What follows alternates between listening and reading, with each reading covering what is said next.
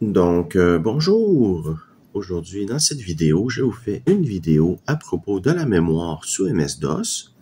Donc, euh, là, je vais faire ça sous MS-DOS 6.22. Euh, ça se peut qu'il y ait certains trucs que je vais dire qui fonctionneront pas sur MS-DOS 5, mais je crois que pas mal tout devrait fonctionner sur MS-DOS 5. Si vous avez un MS-DOS plus vieux que 5, ben là, il y a beaucoup de trucs que je vais dire qui fonctionneront pas dessus. Donc, euh, voilà. Si vous avez un, moi, ce que je vous recommande, c'est que si vous avez un 386 ou plus, d'utiliser à minima MS-DOS 5. Euh, donc, on va donc passer à la vidéo. Donc, euh, le 8086 euh, est un peu bizarre parce que de base, euh, la majorité des processeurs font un adressage linéaire, comme vous pouvez voir ici. Donc, 0x à 0, 0, 0. J'ai mis un 0 de trop, mais c'est pas très grave. Euh, voilà. Donc, 640K, ce serait ça en adressage linéaire, mais les 8080X utilisent le mode segmenté. Donc, le mode segmenté, c'est quoi? C'est que un 640K va être représenté par un segment et un offset. Donc, euh, ce, ici, la première partie, ça s'appelle le segment. Et la seconde partie, ça s'appelle l'offset. On peut convertir un adressage segmenté en adressage linéaire en faisant euh, comme suit. Donc, pour AA11 2.0C12, on multiplie AA11 par 10 x, ben x, et ça va nous donner ça ici en hexadécimal. Et on, j'ai oublié de rajouter le plus, voilà, et on ajoute ça ici, l'offset, et ça va nous donner AAD22 comme adressage linéaire. Pour convertir dans l'autre sens, c'est un peu plus compliqué parce que vous pouvez faire euh, plein de trucs avec l'offset. Donc, vous pouvez ajuster l'offset en fonction euh, du segment ou ajuster le segment et ne pas ajuster l'offset pour démarrer un certain endroit. Donc, c'est assez compliqué là, de convertir dans l'autre sens. Euh, vous pouvez faire comme vous voulez, là, mais voilà. Ça, c'est juste pour vous montrer que les 8080X utilisent le mode segmenté. Puis ça, c'est dû au fait que le CPU est limité à 16 bits. C'est donc une bidouille pour accéder les 20 bits d'adressage mémoire. Donc, parlant de ça, euh, le CPU a des euh, modes. Donc, le mode réel, c'est le mode qui est euh, sur un adressage segmenté, segmenté pardon, et qui est sur 8 bits, pardon, 20 bits, pardon. Euh, c'est le mode par défaut de tous les processeurs. Même votre Core i9 euh, dernière génération et votre Ryzen 7 euh, dernière génération, quand il démarre, il démarre en mode réel. C'est le code du BIOS ou de l'UEFI une fois qu'il démarre qui va passer votre processeur en mode protégé. Et ce mode réel-là est limité à 640 KO de mémoire conventionnelle. Les 384 restants sont réservés pour les extensions et le BIOS. Ça d'ailleurs, cet euh, adressage-là, ben, cette limite-là est euh, purement euh, logiciel. C'est le BIOS qui dicte à MS-DOS qu'il est limité à 640 kilooctets. Je ne vais pas en parler dans cette vidéo-ci, mais vous pouvez théoriquement avoir plus de 640 kilooctets de mémoire conventionnelle, mais ça, ça dépend euh, du logiciel, parfois du BIOS, donc je vais pas trop m'aventurer là-dedans, mais sachez que c'est pas euh, impossible d'avoir plus de 640 kilooctets si vous voyez ça sur Internet. Ensuite, on a le mode protégé qui, lui, a été introduit avec le 286. il apporte quelques nouveautés comme l'ajout de privilèges et la mémoire virtuelle segmentée. Le 386, euh, lui, apporte des améliorations à ce mode-là, comme la mémoire virtuelle paginée et le dernier mode, qui est le mode virtuel 8086, qui lui permet d'avoir des programmes en mode réel dans le mode protégé, ce qui permet le multitâche entre les deux modes. C'est d'ailleurs pour ça que le 286 rarement été utilisé à son plein potentiel, parce que beaucoup de gens l'utilisaient simplement comme un PC XT sur stéroïdes. Euh, donc voilà. Euh, tous ces modes-là font en sorte qu'on a plusieurs types de mémoire. Donc, euh, on a la mémoire conventionnelle, qui sont les premiers 640 kilooctets. Bon, c'est un peu un mensonge, ça commence pas exactement à 0, euh, à 0K, mais euh, pour les besoins de la cause, on va garder ça simple parce que j'ai pas envie que la vidéo soit trop longue. Donc, on va dire que ça commence à 0 kilooctets. Donc, la mémoire conventionnelle, c'est de 0 kilooctets à 640 kilooctets. C'est là que tout se charge si euh, aucune autre mémoire est disponible ou si aucun pilote n'est chargé. Ben, aucun pilote mémoire n'est chargé, pardon. Euh, ensuite, on a la mémoire haute qui se situe entre le 640 kilooctets et le premier mégaoctet. Euh, c'est là que se trouvent les ROM, les blocs UMB et la mémoire EMS, ainsi que le BIOS. Euh, donc, comme je disais, la mémoire EMS, c'est la mémoire euh, paginée. Donc, ça, ça va utiliser 60, une zone de 64 kilooctets dans la mémoire haute. Et on a les blocs mémoire supérieure qui, eux, peuvent être utilisés pour charger des logiciels et ne pas les avoir dans la mémoire conventionnelle. Mais ça, j'y reviendrai. Euh, la mémoire paginée, euh, ça c'est euh, aussi connu sous le nom de EMS. C'est utilisé surtout sur les 8080X, donc la mémoire paginée ici, voilà. mais elle peut être émulée sur les CPU 286 et plus. Même si, bon, la majorité du temps sur un 286, ça va être une carte dédiée à MS qui va être utilisée. Mais euh, certains 286 le permettent, mais ça va surtout être sur les 386 et plus que vous allez pouvoir émuler euh, de la mémoire EMS avec EMM 386.exe. Euh, ça, ça va être seulement si vous avez un programme qui en a, qui en a besoin. Si vous n'avez aucun programme qui a besoin de mémoire EMS, vous n'avez pas besoin de l'activer. Je vais vous montrer d'ailleurs comment la désactiver plus tard. Et euh, la mémoire EMS peut avoir jusqu'à 32 mégaoctets si vous utilisez la norme LIM 4.0.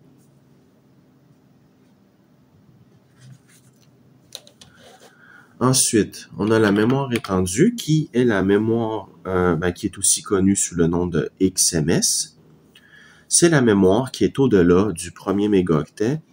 Donc, voilà, si vous avez 16 euh, mégaoctets de mémoire installée sur votre PC, ben, les 15 autres mégaoctets au-dessus du premier mégaoctet seront accessibles comme mémoire étendue. Donc là, on revient au bloc mémoire supérieur, qui sont ceux-là ici. Voilà. Je vais les surligner pour que c'est bien. Moi, j'aurais dû faire ça plus tôt.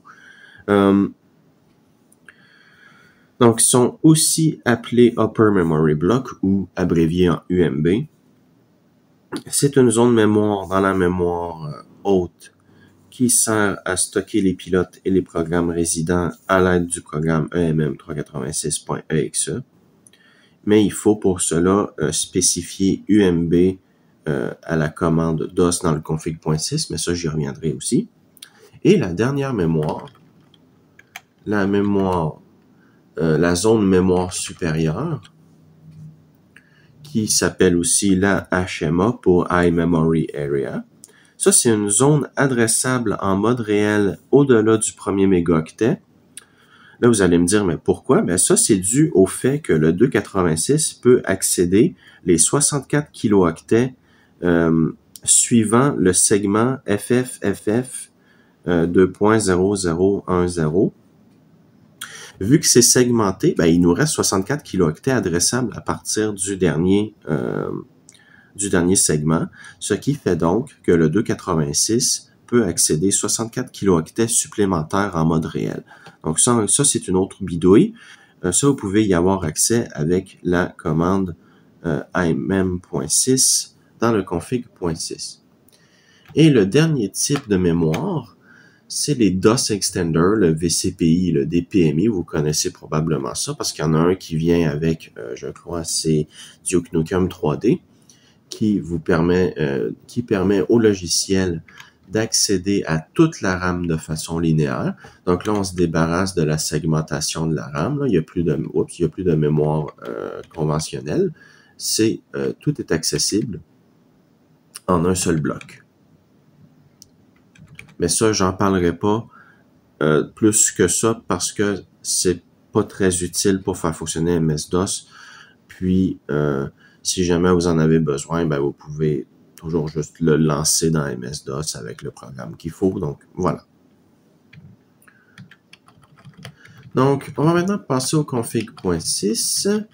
Donc, il y a quelques explications. Donc, à minima, il, faut, pardon, il va vous falloir trois commandes pour avoir accès aux cinq zones mémoire, qui sont la mémoire conventionnelle, ben ça, la mémoire conventionnelle va être toujours accessible, peu importe, mais vous allez quand même y avoir accès. La mémoire haute, la mémoire paginée, la zone mémoire supérieure et la mémoire étendue. Oui, ça fait beaucoup de mémoire.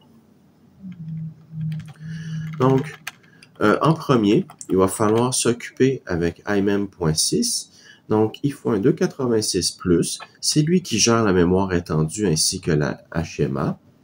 Euh, les deux commutateurs qui sont utiles sont barre oblique testmem on-off et verbose. Moi, je vous recommande de mettre testmem off parce que ben, si vous voulez tester la mémoire, il y a toujours euh, memtest 86 ou d'autres logiciels euh, similaires qui vont faire le même travail et ça va être plus exhaustif comme test. Donc, vous allez avoir plus de chances de trouver des erreurs parce que ça m'est déjà arrivé d'avoir des erreurs mémoire puis IMM, euh, euh, en tel, attestant, n'a trouvé aucune erreur. Donc, voilà, c'est pas superbe. Euh, il va vous falloir aussi EMM 386.exe. Lui, il requiert un 386 et ou plus, même si techniquement il utilise des EMM 286 euh, pour les 286, mais comme j'ai dit plus tôt, c'est plus des exceptions que euh, la règle. Donc, euh, pour ça, il va vous falloir un 386+. Lui, il va simuler de la mémoire paginée dans la mémoire étendue en utilisant un bloc, une zone de 64 kilooctets dans la euh, mémoire haute. Et il vous permet aussi d'avoir les UMB. Donc, si, comme je disais, si vous utilisez la mémoire paginée, alors 64 kilooctets seront utilisés dans la mémoire haute. On appelle cette zone une fenêtre parce que c'est une fenêtre vers les pages de la mémoire. Donc, comme j'ai dit, vous pouvez avoir jusqu'à 32 mégaoctets de pages adressables dans le bloc, ben, la fenêtre de 64 kilooctets. Et elle peut être déplacée. Donc, par exemple, si l'endroit où euh, MM386, mais la fenêtre par défaut ne vous convient pas, vous pouvez toujours la déplacer en indiquant euh, device euh, EMM386.exe, la taille de la mémoire EMS et vous ajoutez frame et l'adresse où vous voulez que ça commence. Si on ne veut pas de mémoire paginée, voilà ce que je disais tout à l'heure, alors on met nos EMS comme argument. Euh, EMM 386 peut ne pas détecter toute la RAM qui peut être convertie en bloc mémoire supérieur. Il faut donc les ajouter manuellement. Pour ce faire, il faut lancer MSD et vérifier, mais je y reviendrai plus tard. Et la dernière commande qu'il nous faut, c'est DOS égale I, UMB. Ça, ça l'indique à MS-DOS 5 et plus, d'où le fait que je vous disais qu'il fallait utiliser DOS 5 minimum. Euh, qu'il peut se charger en HMA et qu'il peut voir les blocs supérieurs et y charger des programmes. Parce que vous aurez beau mettre euh, EMM 386, euh, si vous indiquez pas à MS-DOS que vous voulez les UMB, vous les aurez pas. Euh, il faut faire attention d'ailleurs à ça pour mettre les euh, programmes en UMB. Parce que certains programmes euh, sont mal codés et vont pas du tout euh, bien s'entendre avec d'autres programmes dans la UMB. Donc, si vous avez un bug quand vous chargez votre programme, l'ordinateur plante ou quoi que ce soit, essayez de charger le logiciel en mémoire conventionnelle. Si vous savez pas c'est quel logiciel qui fait le plantage, vous pouvez tout simplement euh, dire appuyer sur F8 au démarrage de MS-DOS et faire ligne par ligne les commandes pour savoir laquelle qui fait planter. Ça se peut aussi que ça plante après le démarrage et ben là, ben, vous devrez euh, vérifier par vous-même euh, quel programme fait le bug en soit le chargeant en mémoire conventionnelle, soit en ne le chargeant pas du tout, voir si vous avez votre bug. Je sais que c'est un peu déprimant, mais c'est comme ça qu'est MS-DOS. Donc, si vous avez besoin d'un programme et que ça plante, vous devrez peut-être le charger en mémoire conventionnelle. Sinon, vous devrez ne pas charger d'autres programmes pour pouvoir l'utiliser. C'est un peu compliqué, mais c'est comme ça qu'il faut faire sur MS-DOS. Donc là, on va passer à la création du config.6 et de l'autoexe.bat.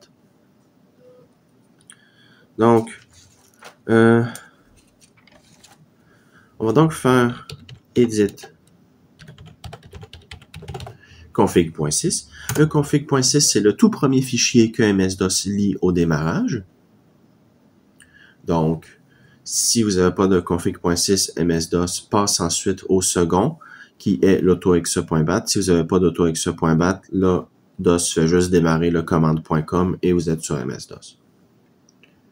Donc là, le config.6. Donc, on va faire la première commande qui est device égale imem.6 barre oblique, oups, test mem off. Et moi, je vais rajouter verbose parce que ça peut toujours être utile. Euh, ensuite, device égale... Ah, attendez, il faut mettre le répertoire parce que sinon, ça se peut qu'MS-DOS soit pas capable de le voir. Donc, moi, ça va être A, deux points, barre oblique arrière, DOS, barre oblique arrière.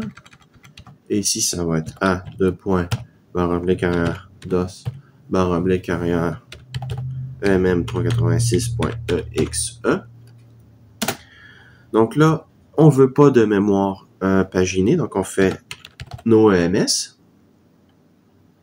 Et plus tard, il va falloir qu'on rajoute un truc, mais là, c'est pas euh, nécessaire pour l'instant parce que je ne vous ai pas encore montré ce que je voulais vous montrer.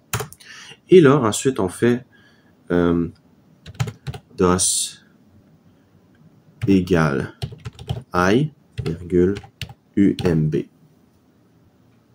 On fait quitter, enregistrer. Et là, si on fait redémarrer, donc euh, voilà, ça charge. Donc vous pouvez voir ici, on a le gestionnaire XMS version 3.10. Et ça, la date et l'heure, c'est quand il n'y a pas d'autoexe.bat. Donc ça nous affiche ça. Donc là, si on fait même, vous allez voir, on a maintenant 64 mégaoctets de mémoire XMS, 21 kilooctets de mémoire utilisée, et on a 619 KO euh, de mémoire conventionnelle de libre. Si on veut voir comment euh, sont les programmes dans la mémoire, on fait mem slash c slash p, oups, barre oblique c barre oblique p, pardon, Et vous pouvez voir que MS-DOS utilise seulement que 13 kilooctets, ce qui est très peu pour MS-DOS 6.22 qui est considéré comme un DOS utilisant beaucoup de RAM conventionnelle. Tout ça parce qu'on a rajouté la commande DOS égale i,umb. Et on a aussi la taille du bloc mémoire supérieure libre. Donc, c'est 91 kilooctets. Donc, mais on peut faire mieux. Et pour faire mieux, on va utiliser notre programme que j'ai dit tout à l'heure qui s'appelle MSD. MSD, c'est un peu un petit programme de diagnostic de MS-DOS qui était utilisé à l'époque ben, pour diagnostiquer des problèmes. C'est toujours utile aujourd'hui. Donc, on appuie sur la touche M. Et là, on peut voir que la zone E000 à E3FF est possiblement disponible, ainsi que la zone EC00 à EFFF. Et euh, pour ce faire, on va l'ajouter manuellement. Donc, euh, comment on va faire pour l'ajouter manuellement? Ben, on va retourner dans, euh, le config.6, mais avant, sachez que chaque ligne équivaut 16 kilooctets et que chaque carré de cette ligne équivaut 1 kilooctet. Donc, chaque, euh, chaque carré équivaut 64 adresses, soit 40 X donc, si vous voulez compter quel carré, mettons ici à C800, on veut commencer à partir du premier F qu'il y a là, mais on, on ajoute des par coup de 40x. Donc là, ça va faire euh, C800, C840, C880, C800C, C900, et le premier F est donc à C940. Voilà. Euh, j'espère que vous connaissez un peu l'hexadécimal parce que ben ça peut être très utile pour euh, ben, sous MS-DOS. Si vous connaissez pas, vous pouvez toujours aller voir des vidéos sur le sujet. Donc là, ce qu'on va faire, nous, c'est que on va rajouter manuellement les zones mémoire euh, possible. Faites attention d'ailleurs, vous pouvez voir que la zone E400 à EBFF est considérée comme de la RAM. Ça, c'est techniquement vrai, mais le truc, c'est que moi, mon ordinateur utilise cette zone-là comme une ROM pour pouvoir utiliser le lecteur de disquette USB dans MS-DOS. Donc, si vous voyez des zones comme ça ou des zones euh, ça c'est des ROM, ben, euh, ne les utilisez pas. Si vous les utilisez, dans le pire des cas, ça va faire planter votre ordi au démarrage. Mais euh, voilà, ça ne devrait pas causer trop de problèmes. Mais voilà, quand vous ajoutez manuellement des zones mémoire, faites juste attention à ça. Regardez si vous avez des bugs ou euh, si ça plante. Et si ça fonctionne pas, ben enlevez ces zones-là. Donc là, moi, je vais rajouter E C 0 0 à E3FF ainsi que ah oui, pardon, E00 à E3FF ainsi que EC00 à EFFF. Donc, on va quitter. Et là, on va faire Edit config.6.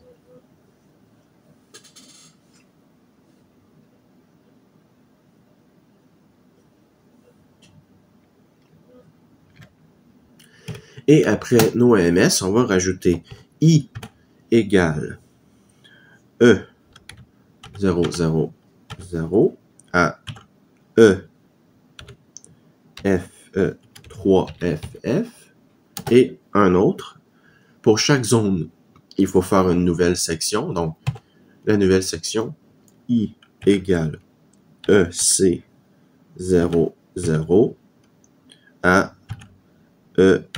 EFFF. Fait quitter, enregistrer. On redémarre. Et voilà. Bon, donc là, si on fait même, on va voir que on a plus de mémoire euh, supérieure libre.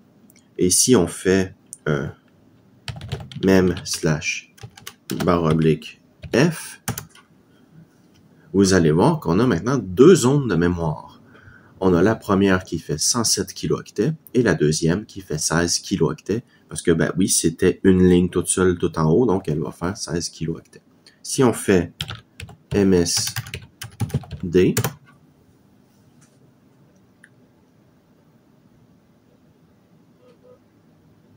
hmm, ça s'en vient, voilà. À savoir que j'utilise une disquette, c'est pour ça que c'est un petit peu long. Mais j'utilise une disquette pour vous montrer que c'est faisable avec peu de mémoire, tout ça. Donc, voilà. Donc, si on fait M, vous pouvez voir, on a plein de F partout pour dire qu'on a plein de mémoire UMB de libre. Et bah c'est pas mal tout. Euh, d'ailleurs, un dernier truc. Ça peut arriver que EMM 386 détecte une zone, mais que ça n'est pas une. Dans ce cas-là, il faut l'exclure. Donc, supposons qu'on veut exclure euh, la zone, qu'on veut exclure une zone au lieu de l'inclure. Ben, on va ici et on remplace, ben on fait X au lieu de I.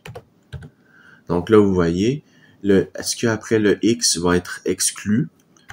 Et ce qui après le I va être inclus? Donc, c'est simple à retenir. I pour inclus, X pour exclu. Gardez ça en tête, comme ça vous allez toujours vous en rappeler. Et voilà, c'est tout. Donc, euh, c'est tout pour euh, cette partie-ci. Euh, là, on va commencer à charger des trucs en mémoire haute, ben, dans les UMB, en mémoire supérieure, pardon, en bloc supérieur. donc, pour ce faire, on fait device high. On spécifie la zone dans laquelle on veut le mettre, parce que là, n'oubliez pas, on a deux zones. Donc, comment qu'on fait pour savoir ça va être dans quelle zone? Ben, ça, on peut le spécifier manuellement. Si vous ne mettez pas un barre oblique L, deux points, la zone, si vous mettez pas ça, euh, MS-DOS va juste le mettre dans la zone qui va décider de la, je sais pas trop quelle façon, mais euh, voilà, il va le mettre là où il veut.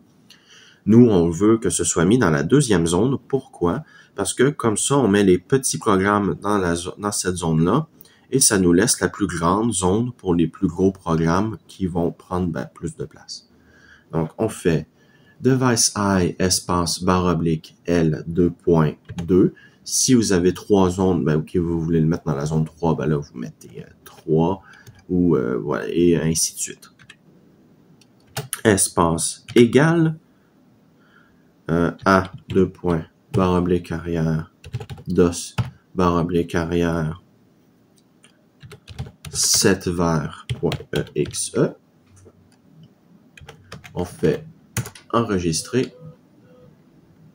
Et là, on fait nouveau Là, ça va être notre autoexe.bat. Donc, dans notre autoexe.bat, on va faire A, ben, A commercial, echo off.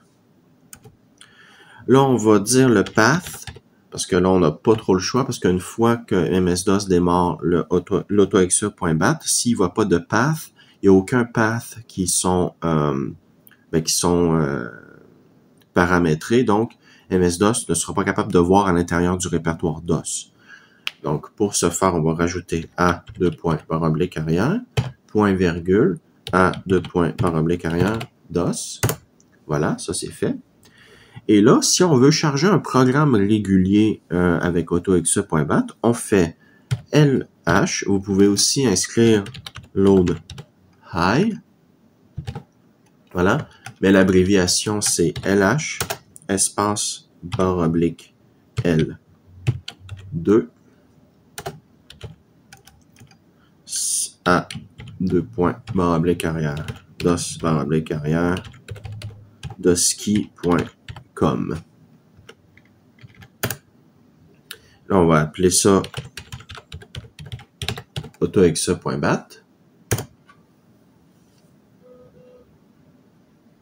Voilà. Là, on peut quitter. Et on fait redémarrer. Et voilà, donc on est démarré. Donc si on fait même, vous pouvez voir, on a toujours 107 co de bloc maximal mémoire supérieure libre. Pourquoi? Parce que on a utilisé la zone 2. Et la zone 2, il nous reste 6 kilooctets dedans. Donc si on, si on veut, on pourrait mettre d'autres petits programmes. Et si on fait un MSD, vous allez voir que là maintenant, MSD va nous afficher des petits U dans la zone au lieu de F. Vous pouvez voir, on a des E, des, pardon, pas des E, des U dans la zone EC00 entre EC00 et EFFF. Donc, U, c'est pour used. Donc, voilà, c'est pour utiliser. Donc, voilà. Je crois que c'était tout ce qu'il y avait à dire pour les bases sur la RAM sur MS-DOS. Je sais que ça fait beaucoup en une vidéo. J'espère que vous avez pris des notes ou que vous vous êtes familiarisé en, euh, en faisant les mêmes commandes que moi. Donc, en espérant que vous avez apprécié cette vidéo et à la prochaine.